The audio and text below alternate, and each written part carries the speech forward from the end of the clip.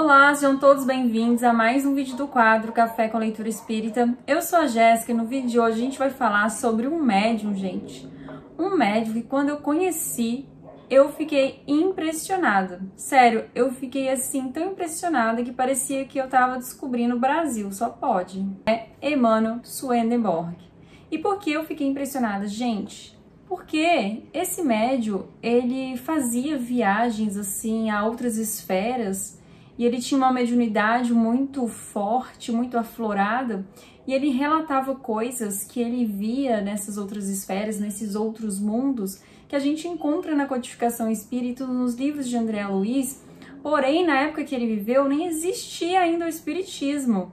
Olha só, Emmanuel Swedenborg nasceu em 1688, ele morreu em 1772, e a codificação da doutrina espírita só saiu em 1857 com o livro dos Espíritos e ele já relata muita coisa que está na codificação. Então, gente, quando eu conheci esse médium, eu fiquei impressionada.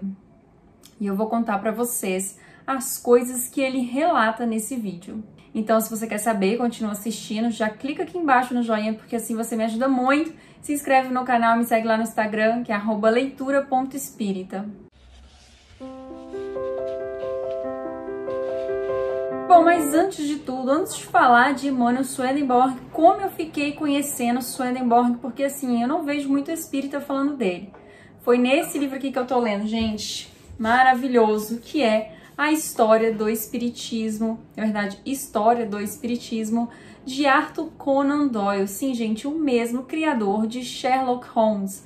Esse livro aqui é da editora Pensamento, mas na editora FEB também tem uma também tem a tradução desse livro com o nome de História do Espiritualismo, que seria realmente a tradução mais correta, porque Doyle nesse livro não está falando do espiritismo, ele está falando realmente do espiritualismo.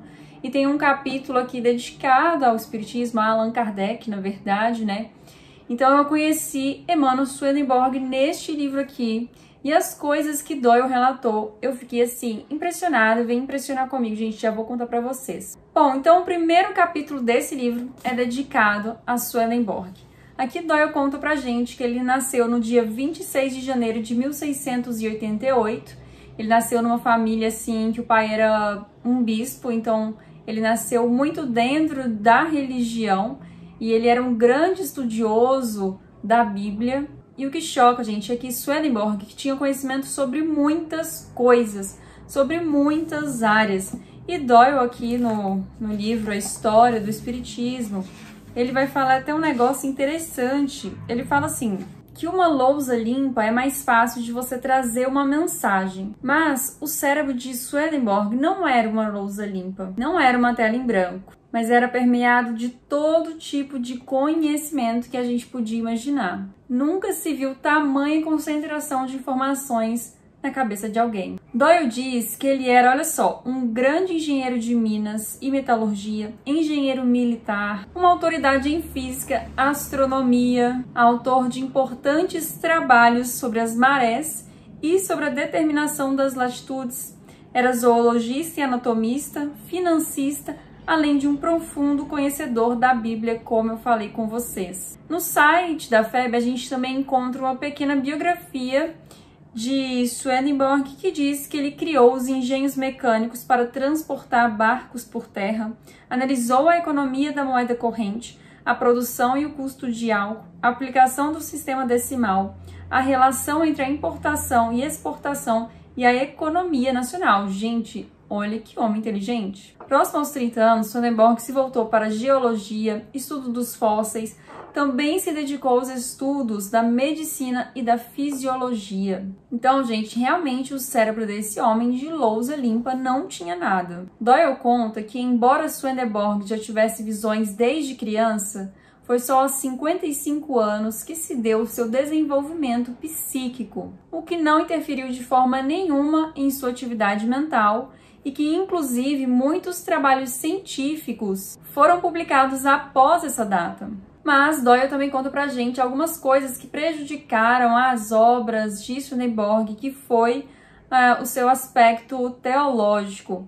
Swedenborg ele acreditava que o significado da Bíblia era muito diferente do seu sentido óbvio e que ele, e somente ele, seria ajudado por anjos para interpretar o seu verdadeiro significado. Mas Swedenborg não trazia significados simples, ele trazia significados complexos, difíceis de entender. Usava uma teologia bastante complexa, misturando várias ideias num latim obscuro. E deu conta que cada pessoa que lesse a teologia de Swedenborg seria capaz de criar uma religião diferente, de tão complexa que era a ideia. Então cada um lia e entendia uma coisa diferente. E aí Doyle diz assim: mas não é aí na teologia que está o mérito de Swedenborg. Esse mérito está realmente na sua força psíquica, nas informações que ele trouxe, e elas teriam sido muito mais valiosas se de sua pena não houvesse derivado uma palavra sequer sobre teologia.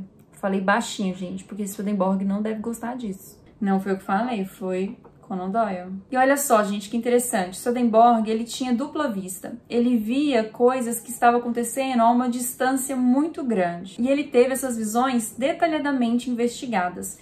E aqui no livro, Doyle conta uma, que ocorreu no dia 19 de julho de 1759, na cidade de Gotemburgo, a 480 quilômetros da capital sueca. Era tarde e Swedenborg estava jantando com uma família chamada família William Costel, junto com mais 15 pessoas. E todas essas 15 pessoas foram testemunhas quando Swedenborg começou a contar, ele estava muito pálido, estava muito abalado, ele começou a contar de um incêndio que ele estava vendo acontecer lá na capital. Começou às 15 horas da tarde e só foi controlado às 8 da noite. E esse detalhe de ser controlado às 8 da noite, Swedenborg disse e depois foi confirmado esse detalhe também. Mas agora, gente, é agora que o trem começa a ficar mais interessante ainda. Pelo menos eu achei. Porque Swedenborg viveu muitas experiências no mundo espiritual e ele escreveu sobre elas. Minha cadeira tá fazendo barulho. Para, cadeira. E o que eu fiquei chocada, como eu disse para vocês, é que ainda não tinha as obras de Allan Kardec, nem de André Luiz, e o que ele descreve é o que a gente vê nas obras. Swedenborg ele conseguiu examinar várias esferas, né, vários planetas diferentes, e aí ele constatou que o outro mundo para onde nós vamos após a morte, consiste em inúmeros mundos. E cada pessoa vai para um mundo que de acordo com a sua evolução, porque cada mundo tem uma evolução diferente um do outro. E aí quando você desencarna, você pode ir para algum desses mundos de acordo com a sua evolução. Gente, olha que coisa doida isso daí a gente vê na doutrina espírita, né? Uma outra coisa que ele relatou foi que nessas esferas que ele visitou, ele viu cidades, viu assim sociedades, casas, famílias, templos de oração, salões onde as pessoas se reuniam, né, para conversar, para fazer uma uma comemoração de alguma coisa, palácios onde residiam governantes. E gente, fala se isso não é nosso lar. Igualzinho a gente lê no nosso lar, né? Não tô falando que ele viu no nosso lar, tá, gente? Estou falando que é igual a gente, o que a gente vê escrito no nosso lar, que André Luiz conta pra gente, né?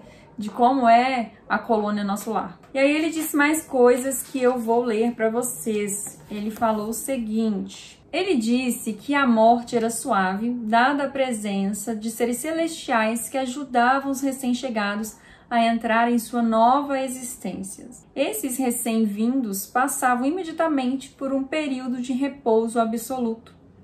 Eles recuperavam a consciência em poucos dias, segundo a nossa contagem, né? Olha só que interessante, porque nos livros espíritas a gente sempre vê que a contagem do tempo é diferente. Não que a contagem do tempo seja diferente, mas que a gente sente o tempo diferente aqui no mundo físico e no mundo espiritual, né? Ele falou também: havia anjos e demônios, mas não eram de ordem diversa da nossa. Eram seres humanos que haviam vivido na Terra e que eram almas pouco desenvolvidas como demônios ou muito desenvolvidas como anjos. Não mudávamos de modo algum com a morte.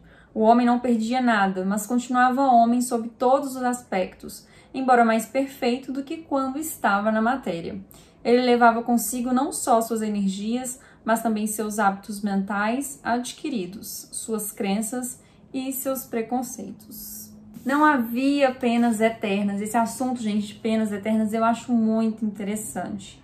Não havia penas eternas. Os que estavam nos diversos infernos podiam trabalhar para sua saída se assim o desejassem. Os que se encontravam nos céus também não tinham lugar permanente, trabalhavam por uma posição mais elevada.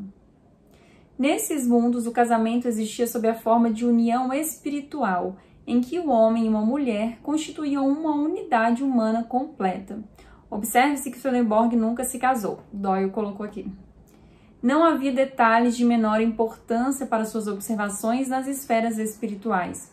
Ele fala de arquitetura, de artesanato, de flores e frutos, de bordados, de arte, música, literatura, ciência, de escolas, museus, faculdades, bibliotecas e esportes. Olha só, gente, que legal. E aí eu vou finalizar esse vídeo, que já deve estar gigante, né, pro, pro que esse quadro se propõe, que já até virou outra coisa, eu acho. Vou finalizar esse vídeo com uma frase de Doyle, né, que ele escreveu aqui no capítulo 1. Ele disse assim, sobre Swedenborg. Estaria ele, então, autoiludido e honestamente equivocado? Precisamos enfrentar as circunstâncias de que, em geral, as observações espirituais que ele fazia foram confirmadas e multiplicadas desde então por numerosos observadores dos fenômenos psíquicos. A verdade é que ele foi o primeiro e, sob vários aspectos, o maior dos médiums, que estava sujeito tanto aos erros quanto aos privilégios decorrentes da mediunidade que, somente pelo estudo da mediunidade, seus poderes podem ser realmente compreendidos. Vocês ficaram chocados que nem eu, gente? Ou não, isso é normal para você? Porque eu fiquei chocada. Como assim, gente? Olha, olha o ano que ele nasceu, 1688. Mas me conta aqui, você já conhecia a vida de Swedenborg? Eu não conhecia, achei super interessante. E o nosso próximo vídeo do Café com Leitura Espírita também será de Swedenborg. Sabe por quê, gente? Não, olha só.